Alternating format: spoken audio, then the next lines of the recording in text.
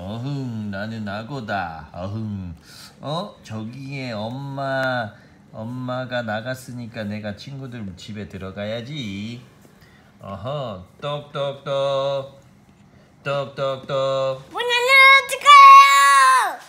어머나 깜짝이야 엄마야 문 열어줘 문 열어줄 거예요. 어? 왜?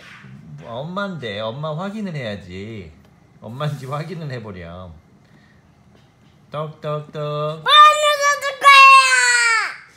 왜? 엄마라니까 문 열어줘 안 돼요. 어 문을 열어줘야지 아, 안 돼요. 그래? 그래서 결국 문을 열지 못한 악어는 숲속으로 쓸쓸히 돌아가게 되었습니다. 잠시 후 또 다른 엄마 코끼리가 왔습니다. 이 코끼리는 엄마야. 엄마다 문 열어줘라. 어? 누구지? 엄마 코끼리야. 뭐야? 너네들 혹시 아까 문 열어달라는 악어 봤니?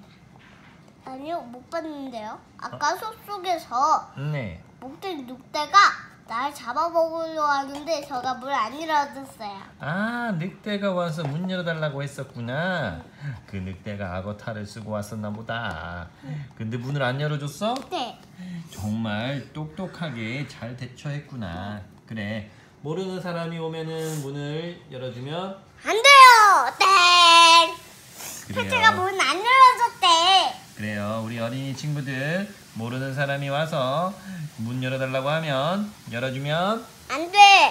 그래요. 그럼 다음 시간에 또 만나요. 빠이빠이.